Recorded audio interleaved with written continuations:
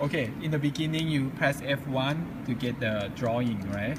Okay, for example, we get these two circle, and then okay, the lead out it should be small, okay? So, and then the size, the two circle inside, inside 30, outside let's have 20 and 30, okay? 20 and 30.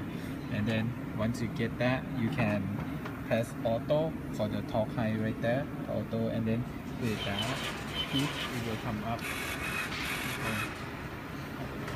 So, so, yeah, see, it will come up like that, okay?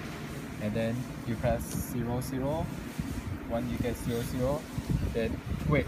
And then air on both of them are okay, okay? On the left and that one, okay? Then start, then please, please start, okay?